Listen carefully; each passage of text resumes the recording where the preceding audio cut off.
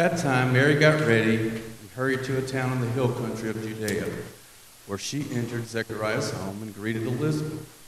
When Elizabeth heard Mary's greeting, the baby leaped in her womb, and Elizabeth was filled with the Holy Spirit. In a loud voice, she exclaimed, Blessed are you among women, and blessed is the child you will bear. But why am I so favored that the mother of my Lord should come to me? And as soon as the sound of your greeting reached my ears, the baby in my womb leaped for joy. Blessed is she who has believed that the Lord will fulfill his promises to her.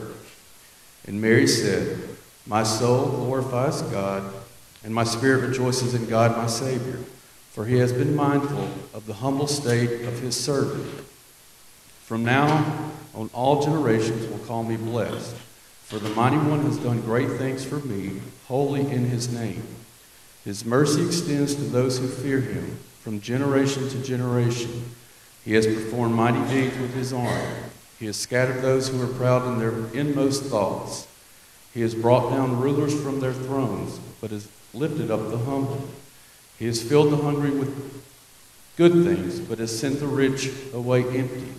He has helped his servant Israel, remembering to be merciful to Abraham and his descendants forever just as he promised our ancestors.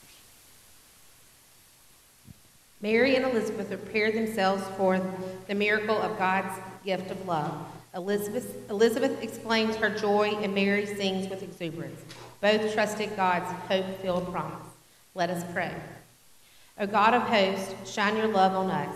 Give us a song to sing that declares your love for all creation, and use us to do your work in the world. Amen. With all of the challenges and the anger and the upset, the fears and the frustration, the disappointment, the heartaches, folks, of all people, we have a message to share, and that's a message of joy, joy to the world. Please stand and join us.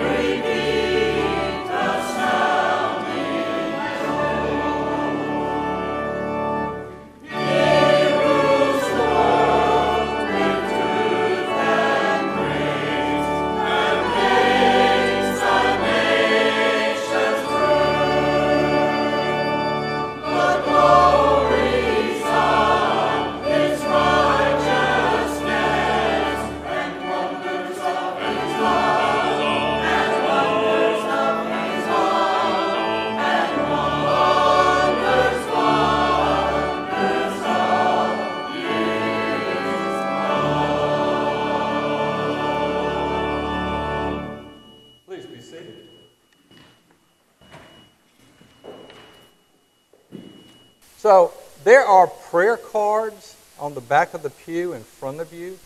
And if you have uh, a prayer request, I'm going to ask you, if you would, to drop that in the, in the collection plate because those, those requests are prayed over uh, by a group that keeps those requests very confidential, and I also will see them and, and pray over them. So please avail yourself.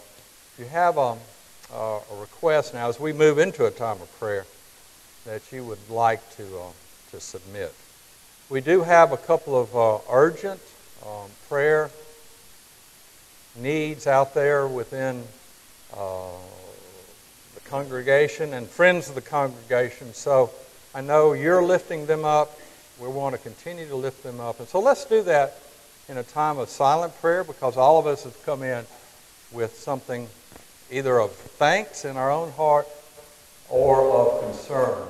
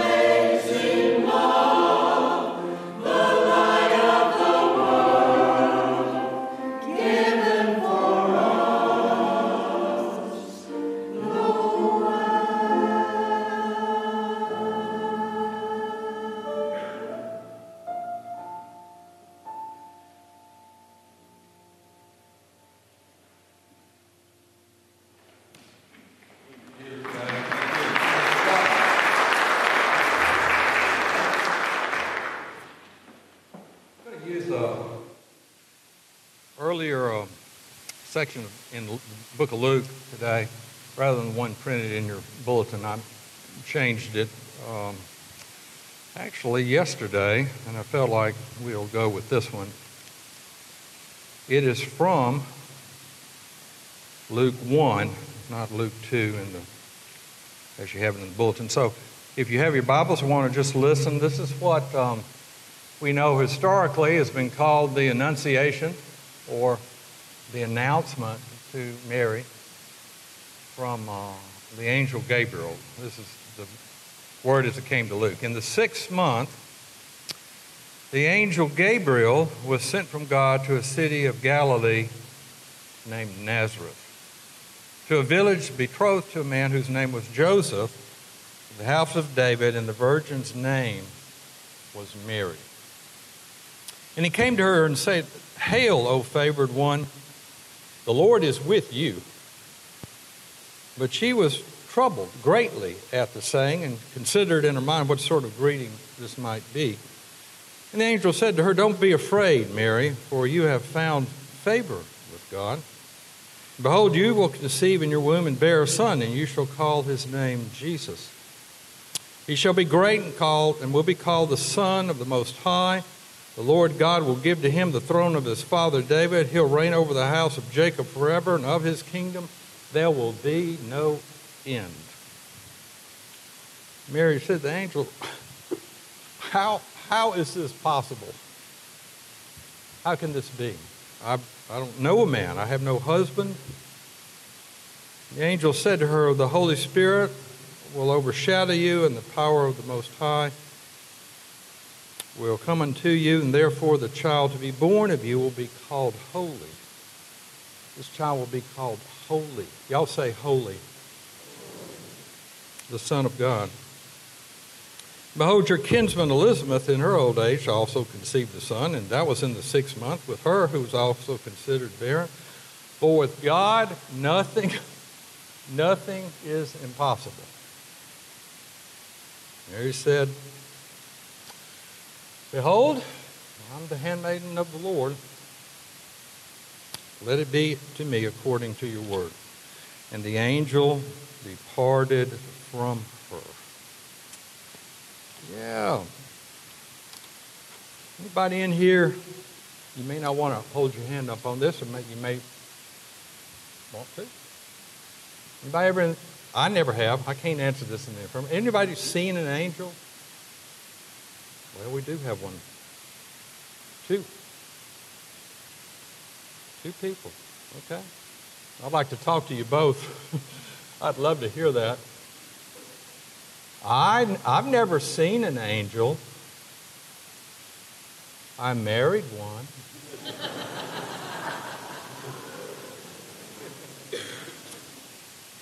let it be, let the record state my wife is present today and put a little plug in there. Never have seen one. I had had a um, member of a church one time. I was I don't know whether it was Christmas service or what it was, but I mentioned angels during the service, and afterwards he came up, waited till everybody got. He said, "John, I want to tell you what happened to me. It's been a long time ago." He said, "I don't tell that to many people, and when they when they start by saying, I don't tell that to many people, I'm all ears." So this is going to be good. At any rate, he was out walking. He had a walk that he took periodically, and it was through the woods. And the interesting thing enough, that there was no crisis in his life. There was no um, emergency, nothing that he was troubled by. He just heard voices behind him. And he looked behind him, but wasn't anybody back there. Looked around, right and left, nobody's there. So kept going, but the voices started getting um, nearer and nearer. And then he thought, that's above me. And he, and he looked up, and there were two humans with wings. This is the story. That were moving over the treetops and talking with one another. They didn't speak to him. Interesting. They just went on. That was it. He said, You know, to this day, I'm not sure why. So after that day, my faith jumped from here to here. I said, I bet. I've never, I've never seen an angel. I saw, I, I went to a conference one time where there was a dance troupe there. And these are, this, these are some, some Methodist folks, and what they do, they'll set music to something that has a, a beat to it. And they had, they had a lot of young uh, teenage girls and young adults in the church, and they had long flowing robes on, white robes, and they would do these. Um, uh, they would dance to that appropriately, right down here. Very, very beautiful. I've never seen that. And I noticed there was a crowd that kept gathering around their exhibit table in this conference. There were a bunch of tables, but boy, that, that, that, group, uh, that, that group always had a crowd around it. They'd come and go, come and go. There's always people. So I walked over there. I said, What's the deal? They said, Have you, you hadn't seen that picture? I said, No. They said, Go on over there. So I went on over there. And they had taken a picture of a dance troupe, their dance troupe, at some other church somewhere.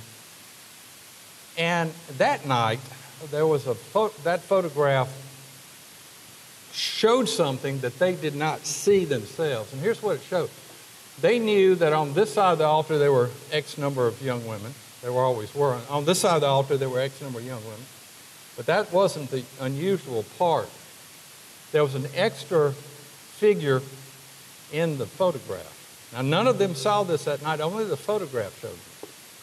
But there, right in the middle of the service, was a young woman, but she was dressed a little differently. Long white robe, but she had a she had a band, a brow band went, went right across here. And she had these, she had straps around her uh, upper body that X'd out right here and then over a long white road. And so I just, I had to ask, I said, well, who, who was this? Who slipped in the service? She, they said, we have no idea. And we did not see that. But the photographer and the photograph showed it. Now, if that's not an angel, please, what is?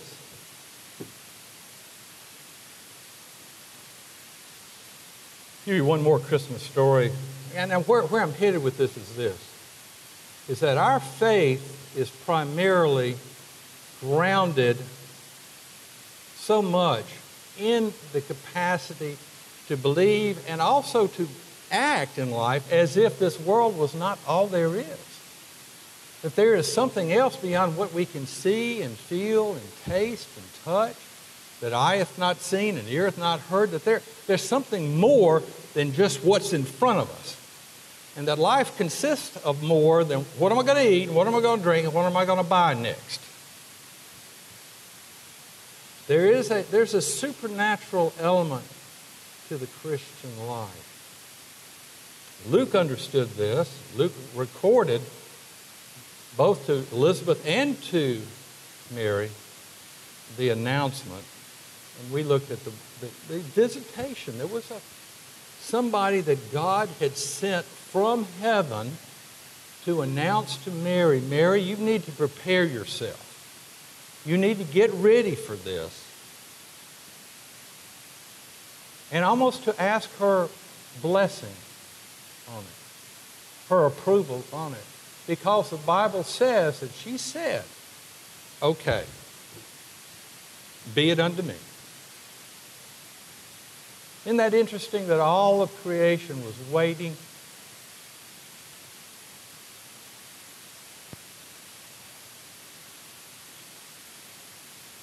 For a young woman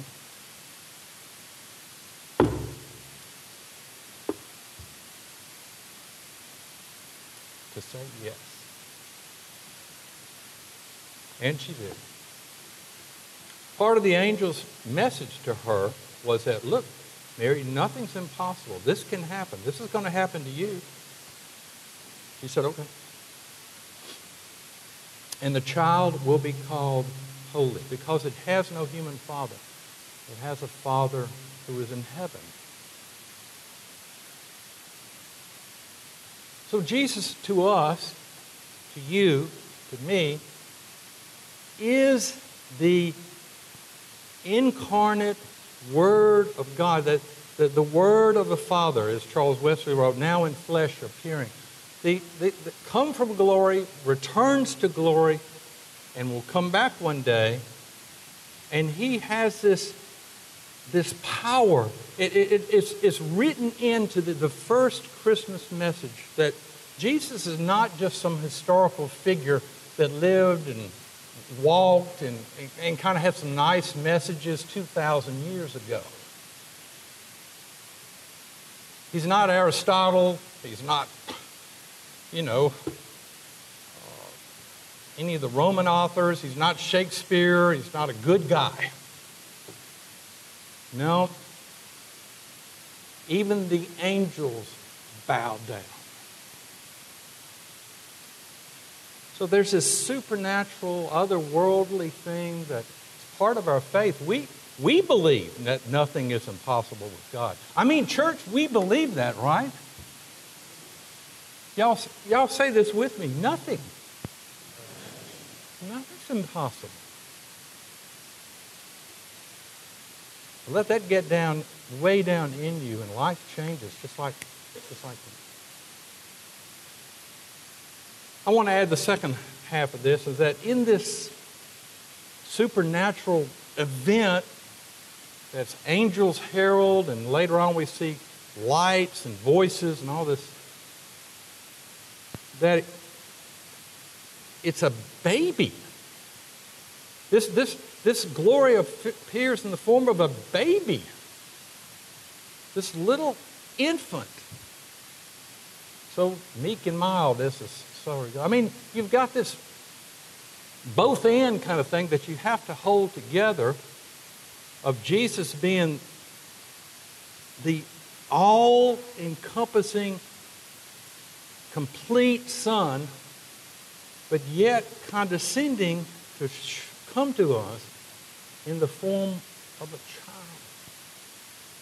an infant with all the frailties and with all the struggles and with all the tempted as we are, as Hebrews says, and yet without sin. It's a, isn't that it's a marvelous thing to contemplate. We have a we have a Savior, here we go, that has the power and the love. I'm going to leave you with this. William Barclay tells a story of um, a couple that he knew back way back along the way, turn of the century England, who had a child who had a limp, and the child was going to limp, and great, great kid, but had a limp. And the parents were taking him through downtown London to buy him uh, a, a couple of Christmas presents that he'd get, you know, ahead of time and they came by a pet store. And looked in the window, and a lot of the puppies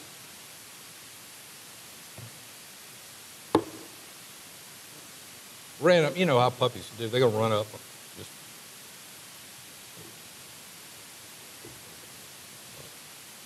was one that was slower coming up from the other because he couldn't. He had a limp. And they asked the boy, which one did he want? He said, this is what he said. He said, I want the puppy that's just like me.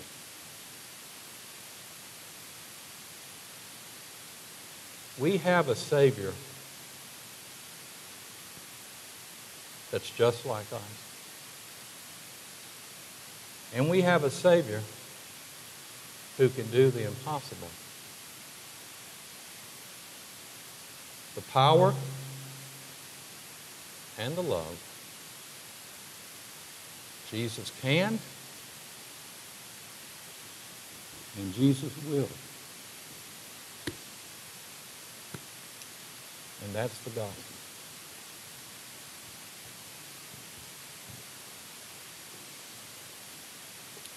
name of the Father, Son, and Holy Spirit. Amen.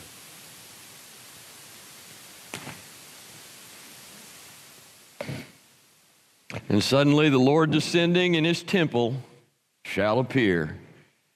Angels from the realms of glory, please celebrate with us. The hymn is number 220, the first and last stanzas.